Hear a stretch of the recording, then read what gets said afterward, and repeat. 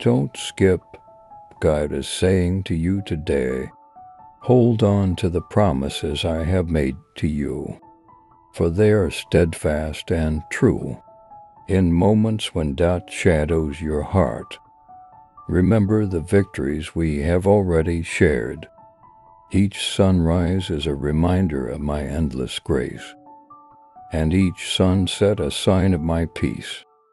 You are never forgotten, nor are you ever truly alone. Cast your burdens upon me, and I will give you rest.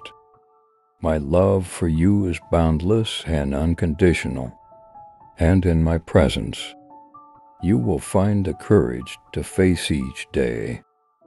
Do not be dismayed by the noise of the world.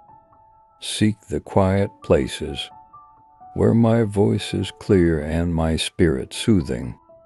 In these spaces, I will refresh your spirit and renew your strength. You are designed for great things, crafted with a purpose only you can fulfill. Remember, you are cherished, valued, and loved beyond measure.